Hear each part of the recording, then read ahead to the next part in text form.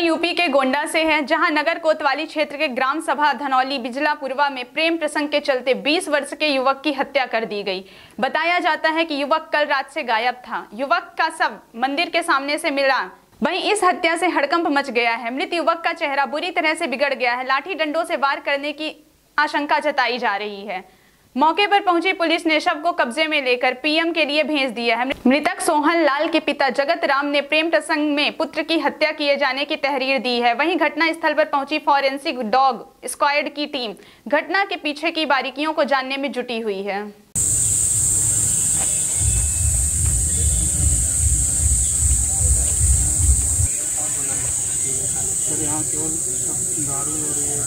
आवश्यक ट्रक भरा हुआ है यहाँ पर पूरा यहाँ पर जैसे और कोई है नहीं चार लोग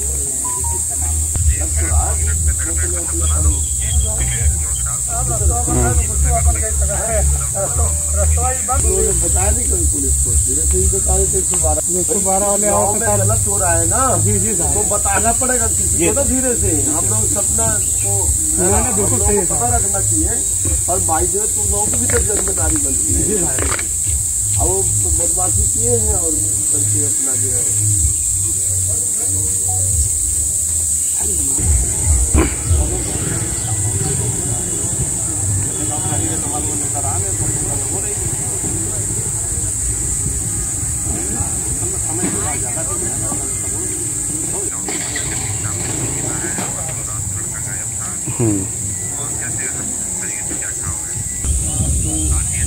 हाँ हाँ लाठी डंडे से मारा गया है। हम्म, चेहरा मतलब बहुत बुरी तरीके से बिगड़ा हुआ।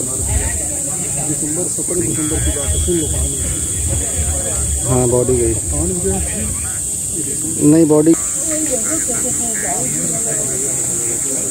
चलो ठीक है।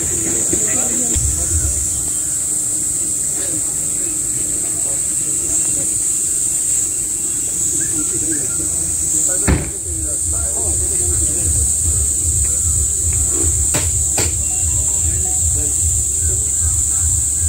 बात नहीं था